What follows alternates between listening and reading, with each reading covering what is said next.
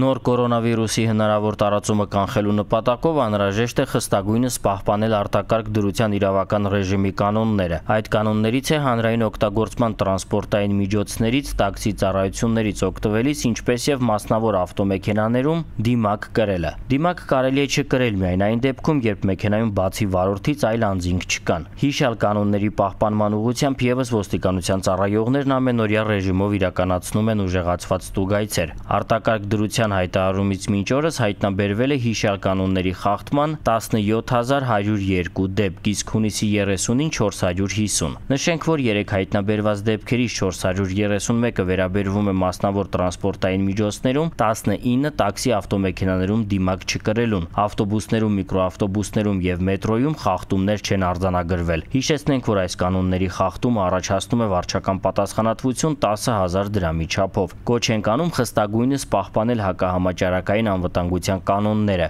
Դա բխում է բոլորիս շահերից։